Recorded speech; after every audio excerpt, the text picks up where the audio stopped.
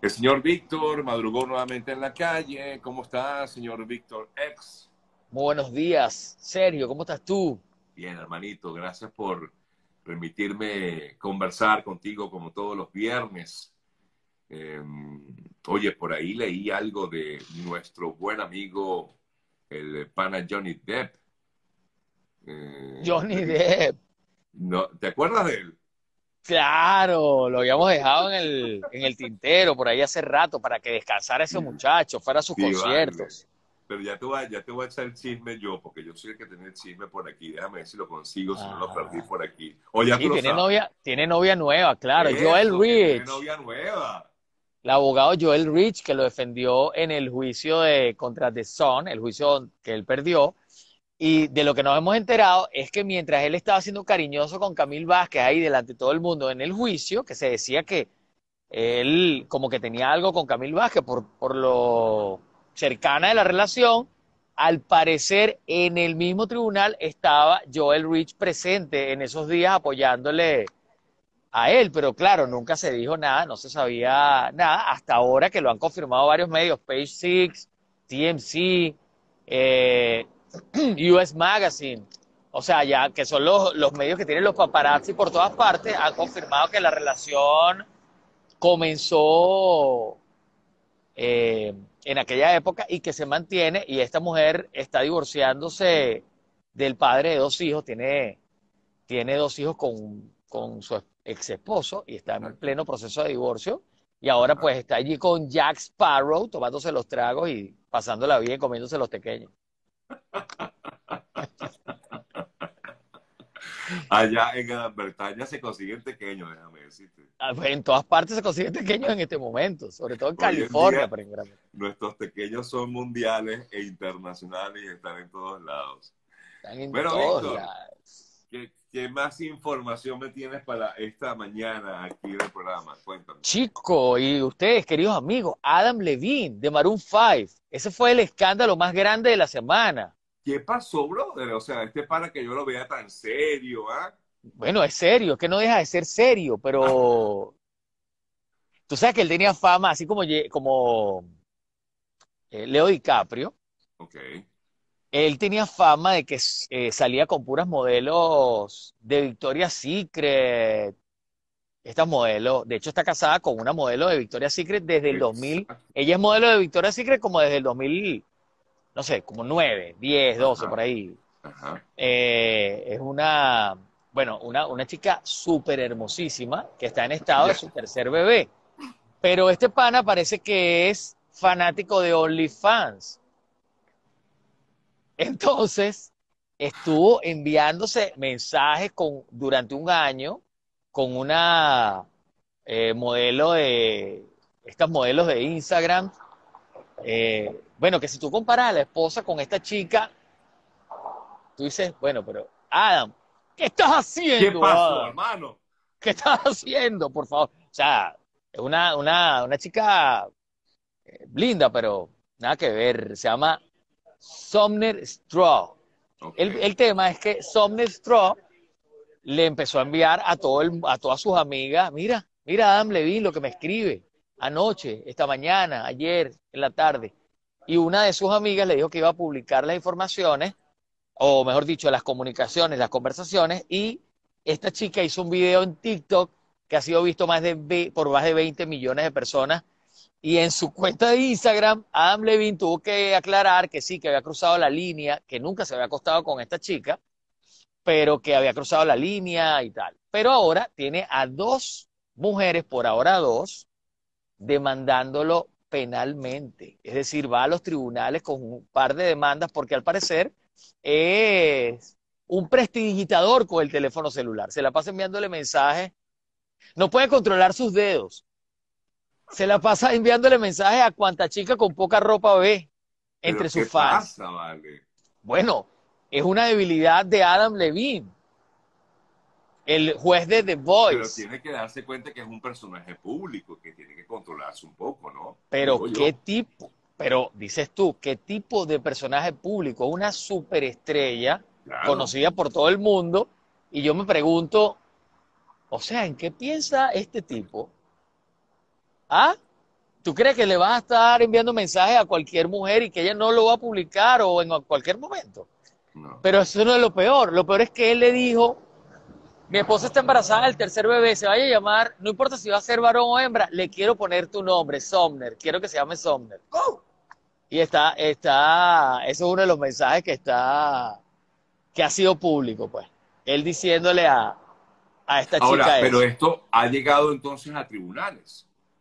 O sea, las demandas. Las, demandas. sí, las demandas de estas dos mujeres han llegado a los tribunales y lo que... ¿Y, las demandas consisten en que en, lenguaje inapropiado? Claro, por supuesto, sexual, inapropiado. O sea, que este es el país de las demandas. Aquí no importa lo que le dijiste, lo importante es que los abogados de ella se encargarán de decir de qué se tratan las demandas. Wow. Así que hable, y la tiene. Eh, eso es para que, para que aprendas, ¿no? Bueno, imagínate tú, que, nosotros unos humildes, ah, unos humildes aquí servidores, diciéndole a Adam, aprende, o sea, ser. Bueno, pero, o sea, yo pienso que algo que nos enseñan nuestras conversaciones desde que comenzaron es que las personas que no son famosas tienen mucho que enseñarle, y no lo digo por nosotros nada más, sino por todas las personas que están siguiéndonos, escribiendo, tienen mucho que enseñarle a las estrellas. Es decir, los matrimonios como el tuyo y de tu esposa tienen muchísimo que enseñarle a un Brad Pitt y Angelina Jolie, pero lo que pasa es que como la gente los idolatra, o como los idolatramos, para que no no sentirnos nosotros dos que estamos lejos de la gente, sino que nosotros somos, ¿sabes? Somos, los seres humanos idolatramos a estas estrellas, pareciera que ellos son los que tienen que guiarnos a nosotros o que ellos de alguna manera, wow, que los admiramos mucho, pero en realidad sí, admiramos su trabajo, pero tenemos muchas cosas que enseñarles, porque dime tú, es cómo está terminando el matrimonio de Brad Pitt y Angelina Jolie. ¿Sabes? Y, y no, no han entrado en realidad en el juicio con las pruebas, me pegó en el vuelo, le pegó a los hijos, lo insultaba siempre, es un alcohólico, o ella es tal cosa, es una maléfica, ¿sabes? O sea, lo que viene ahí va a ser duro y es un juicio por venganza y por dinero. Sí. Entonces, como, eh, como comentaba alguien aquí, guerra de egos, efectivamente. Claro. Y Adam Levine un poco bueno, sí. ¿Sabes? El saberse un galán, el saberse. Eso es el ego, el ego lo tiene ahí. Un galán y, bueno, un artista reconocido, eh, súper eh, admirado y, seguido. Sí, sí, sí. Entonces, bueno, conectado con este montón de mujeres, de modelos, bueno, se casó con una, pero con la que se casó es hermosísima. Esa otra chica de OnlyFans, de verdad que Dicen la venezolana, nuestras venezolanas le dan 60 mil patadas a esa muchacha. Dicen que, que Adam es only, only adicto. Claro, eso es un only adicto, un, un adicto al... Eh, eso le pasa a muchos artistas, muchos artistas creo que esa conexión con la fama, esa misma conexión con el ego, este, como que les exacerba esa parte de, quiero acostarme con todas. Eso al final es una, no, digamos enfermedad como tal, pero, ¿sabes? Es, una condición, definitivamente. Sí, sí, sí, sí, sí. Entonces lo lleva. Pero ya veremos, será que, bueno, lo que estaba, me imagino que ese juicio o esas, esas demandas terminarán en pagar una, una No, eso se ha quedado un acuerdo, claro, eso se ha quedado un acuerdo extrajudicial con una buena suma para cada chica, 100 mil dólares 200 mil dólares para cada uno y chao. ¿Qué viste? Lo que significa volverte loco como escribiendo cosas que no debes, hermanito. Sí, vale, Adam, por favor, contrólate. Ve al templo, ora, hace más ejercicio. Sí. ¿Ah? Mira. Trota. Eh, me acordé mucho de ti esta semana porque vi las declaraciones que dio. De Shakira de Shakira y dijiste nada, Víctor, seguramente Shakira va a seguir picándole el ojo a Víctor y Víctor no le va a hacer caso. No, es que, es que justamente hubo dos eh, temas que, eh, de los cuales tú mucho has conversado aquí. Mira, siempre llega ese señor de la camioneta a esta hora. Yo creo que siempre llega, lo frente. Yo creo que él va a... Quiere, quiere brindarme un café. Se Mira, el café. Víctor, sí, Shakira habló para la revista Elle de España de una entrevista exclusiva. Habló de, de, que está cansada, de que está, sobre todo, oye, es que yo me imagino, yo estuve leyendo en parte de, lo que dijo, en lo que salió en la prensa, y, y, yo leía que Shakira decía, oye, es que no puedo ni siquiera ir al parque porque los paparazzi me persiguen por donde estoy. Qué fuerte eh, para, bueno, por supuesto, es duro, pero oye, estás con tus hijos, déjame en paz, ¿vale? Por lo menos déjame disfrutar mis chamos, que estoy aquí en, el parque, ¿no? Sí, son, son abusadores. Bueno, mataron a Diana de Gales. Bueno, sí, eso se dice. Asesinaron a Diana de Gales este, eh, persiguiéndola. Entonces, es... O sea, tú... Esta es la ciudad de los paparazzi. Tú ves cuando están comiendo Jennifer López y Ben Affleck en un restaurante. Y tú ves las fotografías de la revista. ¡Wow! O sea, le toman toda la fotografía, pero tú pasas por el restaurante y están 20, 30 ahí. Entonces ellos salen y los paparazzi se le van encima, se van sobre los niños, se van.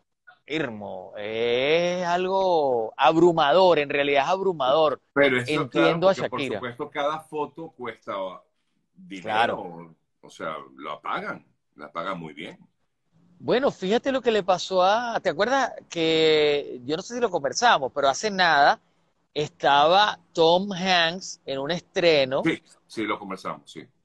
¿Te acuerdas? Y, venía saliendo con la esposa y los paparazzi se fueron sobre la esposa y por poco, ¿sabes? La, la hacen caer, exacto. Entonces, es, o sea, los empujan los provocan para tener la fotografía, para tener el grito, para tener el reclamo de ellos. Entonces, y tú no sabes quién está ahí detrás de esas cámaras tampoco. Tú no sabes si detrás de esas cámaras está el, fanático que le pidió el autógrafo a John Lennon. Entonces eso hace que, las estrellas se, o sea, estén todo el tiempo asustadas porque no saben, no saben quién es, quién tiene una cámara ahí, cualquiera puede tener, cualquier, cualquier asesino, cualquier persona que vaya a, a ir en contra de ellos puede estar con una cámara, entonces es complicado. Y Shakira, aparte de eso, eh, Shakira, bueno, fue traicionada por Piqué. Piqué tiene una nueva relación, está tomándose fotos a cada rato, esta quiere como proteger a los hijos, ¿sabes? Entonces está en medio de ese proceso que es como una especie de de despecho, me, me, traicionaste eh, y estar dando explicaciones eh, es complicado, pero bueno, por lo menos dio la primera, eh, las primeras declaraciones oficiales, porque no, no las había dado antes, donde dijo, mi papá me dijo, me enseñó una frase muy importante, vive tu vida, y también dijo que el amor, el amor es lo lo que nos mantenía, de pie y que lo más importante era la resiliencia de los seres humanos y sobre todo la resiliencia de las mujeres. Cosa que yo también cuando vi las declaraciones, bueno, debe haber pensado esa frase bastante, pero fueron una frase bien inteligente.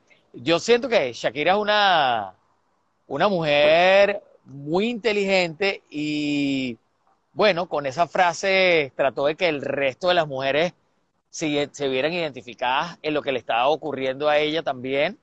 Y los hombres no dejamos de, admirarla por, por eso, todo lo contrario. O sea, eh, ¿sabes? Es como una, un motivo para, para admirarla más. que en medio de este momento esté manejando las cosas así, a pesar del asedio de la prensa, de los medios y de los paparazzi, que no son necesariamente prensa ni medios, pero que son unos personajes que están ahí acosando a estas, a estas estrellas, a estos artistas todo el tiempo. Eh, te consultan acerca de, de, hecho, creo que también habló en esa entrevista de la, del juicio que se le sigue por, por, por evasión fiscal, pero no sé qué dijo al respecto, ¿no? Eh, pero ella, ella ya ha comentado acerca de ese tema de la evasión fiscal, dice que eso es mentira, que eso no es verdad, pero bueno, no sé si, qué va a pasar justamente con ese juicio que se le abrió en España. sí, y eh, bueno, ya nos enteraremos ya de, informaciones oficiales, ¿no? En las próximas semanas y meses, yo sí sé que ellos hicieron un acuerdo prácticamente por el equivalente de lo que, de lo que el Estado desea que se le pague. Es decir, supuestamente ella ya lo pagó, pero es información extraoficial. Entonces ahora en el juicio sabremos cuánto fue que pagó, cuál fue el acuerdo y si debe algo de dinero lo pagará. Yo pienso que es un juicio no quiero decir político porque no, no implica, es decir, cuando si digo político no es por la política, ¿no? De los partidos ni nada. Sí, sí, sí. Pero sí creo que es un juicio, no sé, o sea, es como para, como un escarmiento, más como un escarmiento, como para mostrar, se tiene que, poner a derecho todo el mundo, no importa, no importa quién sea, no importa si eres famosa o no pero sí creo que eso al final, ella no va a ir a la cárcel y eso va a llegar a un acuerdo y ya. O sea, no, no, no va a pasar nada, no va a pasar de ahí. Pero yo creo que debemos esperar las informaciones ya oficiales acerca de, de, ese juicio, si pagó, si no pagó, qué fue lo que pagó, cuánto fue que pagó. Mira, y el otro tema, el otro caso que me acordé mucho de ti fue las declaraciones que dio Derbez esta semana. Ah, que tenías toda la razón. O sea, el, bueno, tú dabas, tú decías que uno de, las, de, los rumores que había era que supuestamente él se había caído jugando eh, un eh, juego de realidad virtual y, comentó que así había sido, ¿no? Em, ¿Le creíste? Bueno, el, el tema de él es que eso está muy extraño por la manera en la que la esposa lo manejó ese comunicado todo raro ahí, eh, donde no informaba, como habíamos hablado. Pero además, su hijo José Eduardo volvió a declarar, luego de la declaración del papá, y dijo, sí, ellos manejan todo con un misterio, o sea, yo ni siquiera sé qué fue lo que pasó. Algo así, dijo el hijo José Eduardo, que es el menor. Entonces, algo, algo pasa ahí dentro de esa familia que nosotros no sabemos, eh, que, no sé por qué se oculta información. Los medios, eh, los medios eh, mexicanos o varios medios mexicanos han dicho, eh, pero por supuesto también es información extraoficial, que, que, que Badir y él habían peleado, etcétera. Que eran los dos que supuestamente estaban en la actividad, él con el hijo estaban en la actividad virtual. de esta virtual pero dicen algunos medios que no, que pelearon, que Badir le pegó, entonces tienen un, tienen un tema allí y dicen que, no está diciendo la verdad, que no está hablando claro. Lo bueno o lo mejor de todo este caso es que él está vivo, que mostró lo que le había ocurrido en el brazo, que se había fracturado 15 partes como lo habíamos dicho, que le metieron unos clavos o unos tornillos ahí, que fue una operación compleja en Los Ángeles, California, y bueno, Ahora veremos cómo es la recuperación. Dice que la recuperación se va a tardar entre seis meses y un año. Así que eso también fue, también hizo bastante ruido, sobre todo en el ámbito latino, este, esta, estas declaraciones de Eugenio Derbez. Aquí comenta, pregunta a alguien, ¿cómo fue que, que, que, cómo alguien puede tener un accidente haciendo algo virtual? Porque es que, claro, me imagino que en tu cabeza está que estás en un mundo diferente al que es el real y al parecer, según lo que él comenta, pues yo vi la declaración de él, eh, según lo que él comenta, él bueno, dio un traspié, se cayó y se pegó en el bueno, o sea, fue, eh, eh, y, yo sé lo que es un, bueno, yo no lo sé, digamos, por mí, pero mi hermano, por ejemplo, se cayó tontamente y pegó su hombro contra la nevera y tuvo que operar, o sea, porque esto está lleno de huesitos y se... Claro. Por eso es que tuvo que operarse y es una operación delicada y aparte la operación, la recuperación es delicada también. Y él explicó, claro, claro, y él explicó que, bueno, que se cayó por unas escaleras, ¿sabes? O sea, que estaban en unas escaleras. Ahora, pero hay tantas preguntas que nos podemos hacer, o sea, ¿cómo hacen una actividad de ese tipo con unas escaleras cerca? Es decir, eso me parece más extraño que nada. Oye, pero tú sí que eres mal pensado, puede ser que pasó No. sí, no, seguramente pasó así. Pero me parece muy extraño todo. Mira, ¿qué, te pasa hoy que te ven apagado? Dicen por aquí, que no te has metido. Ah, porque lo que les gusta. Mira, yo les voy a decir algo. Víctor y yo llegamos a un acuerdo en que él no se iba a meter Ah, mire, ¿saben qué? Oye, fue, fue muy comentado, estoy buscando aquí una información, fue, fue muy comentado nuestra conversación acerca de la sirenita. Sí. sí. Un montón de miles de views y miles de comentarios, miles de likes. Entonces les voy a contar algo. Si ustedes no estaban preparados para una sirenita de color, Ajá, ¿qué viene ahora? Porque la, gente decía, no, porque esa no fue la sirenita con la que yo me crié. Entonces yo publiqué, yo publiqué el Aquaman rubio y a Jason Momoa. Ajá, Ustedes se criaron con un Aquaman rubio que no se parece nada a Jason Momoa. Ah, pero a Jason Momoa nadie lo criticó. Es verdad, es verdad. ¿Verdad? Nadie pega el grito en el cielo por Jason Momoa. Todas las chicas decían, Jason Momoa me gusta más que el rubio. Es verdad, es verdad, de verdad que sí, tienes razón. Ajá, ese es, Ajá. es el punto número uno. Y el, o el segundo punto acerca de que ustedes dicen, o muchas de las personas que están siguiendo nos dicen que Disney está tratando de meternos a la gente de color, pero no es Disney. Bárbara Broccoli, que es la hija y, productora del, productor del 007, o sea, la hija del, productor más importante del 007, que además es productora de la película, con Michael G. Wilson, ellos son los productores de, de la saga El 007, están en la nueva negociación, buscando, después de Daniel Craig, quién va a ser el agente 007 por los próximos 10 a 12 años. El acuerdo es de 10 a 12 años. Por eso, yo escuché que iba a ser una mujer. No. Hasta ahora, hasta ahora, en las conversaciones eh, que ellos han tenido, no han mencionado a ninguna mujer, han mencionado a la gente menciona a Idris Elba, que es un 00, podría ser el primer 007 negro, y ellos han mencionado, entre otros, a Chiwetel Ejiofor, que es el, protagonista de 12 años de, esclavitud, una película que está en Netflix. O sea, que el que viene es, de, de ascendencia afroamericana, pues podría ser el primer 007 negro, aunque también está Tom Hardy, también está Henry Cavill entre las posibles opciones, pero les hablaba de la sirenita porque les decía, si no estaban preparados para una sirenita negra, prepárense para el primer 007 negro y además no dijeron nada con Jason Momoa como el Aquaman eh, hawaiano, moreno hawaiano. Sí.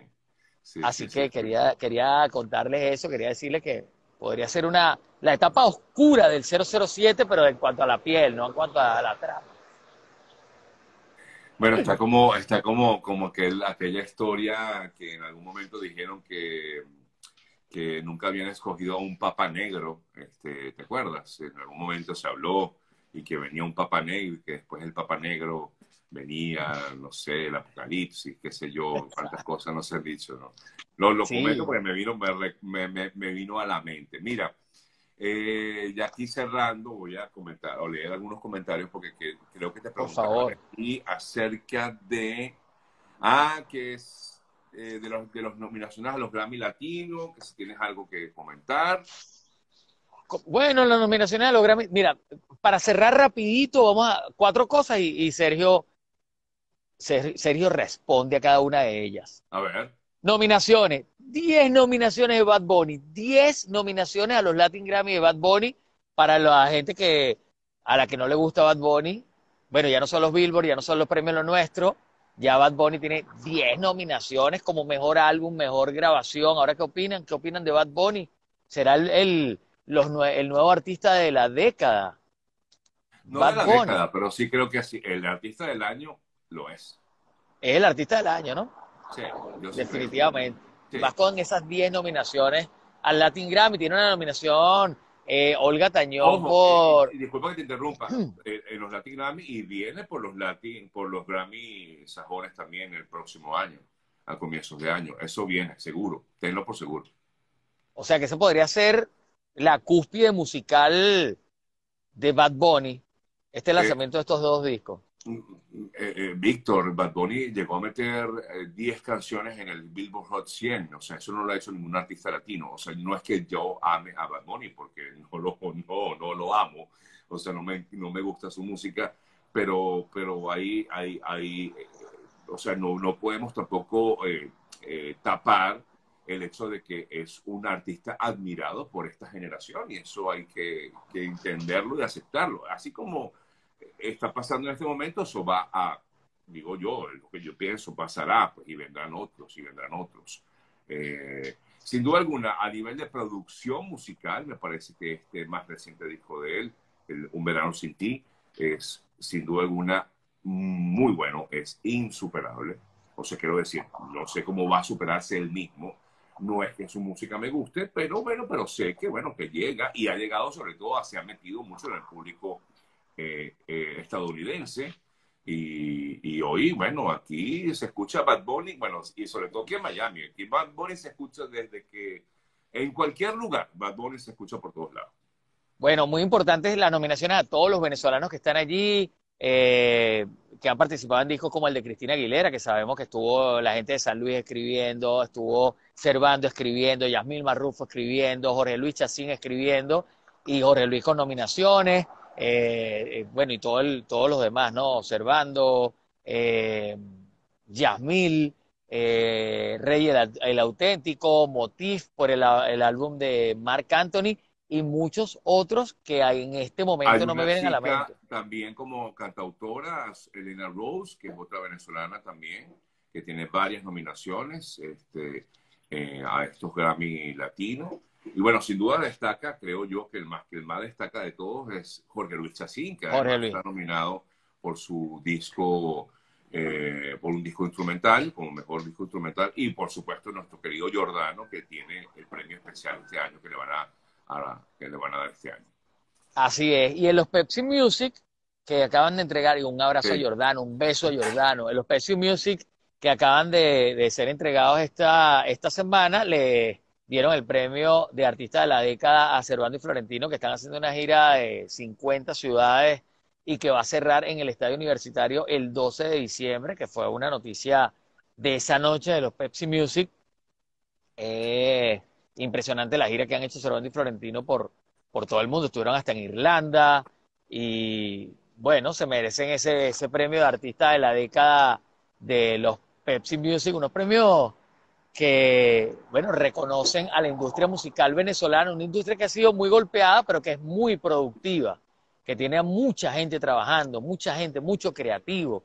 Entonces, unos premios indispensables para, ¿sabes? Para ensalzar, para, para realzar a los, a los músicos venezolanos. Me parece muy bien, a mí me parece muy, muy bien. Además que creo que, como tú bien dices, se está haciendo muy buen trabajo en Venezuela con todo lo que ha ocurrido, con todas las limitaciones, con todo este tema, y me parece muy bien que, bueno, que, que se reconozca pues el, el, trabajo de los artistas venezolanos dentro del país, de verdad que sí. Me parece, eh, pues, que hay aplauso para ese trabajo que, que viene realizándose eh, en el país y ahora sí, para cerrar, como sabes, Luis Fonsi suspendió su concierto en Venezuela después de, las amenazas de ya sabemos quién. También amenazaba a Carlos Baute, no sabemos qué va a pasar con el concierto de Carlos Baute, pero con el de Luis Fonsi, pues sí ha sido, dijeron pospuesto, la productora dijo pospuesto. Bueno, lo que pasó con el de Juanes. Pues. Y lo mismo que pasó con el de Juanes. Así que, bueno, son las informaciones más importantes de esta semana, por lo menos. Por lo menos. Mr. Victor X, gracias, my friend. Que tengan un día espectacular, que la pasen bien el fin de semana. Mira, no ha amanecido aún. Vemos que la cosa está cambiando. El, mira, no ha amanecido porque siempre que terminamos amanece. Ya, sí. va, ya nos va a tocar pronto el cambio horario. Fuerte abrazo, hermanito. Gracias. Cuídense mucho. Vale, seguro, gracias. Chao, Víctor.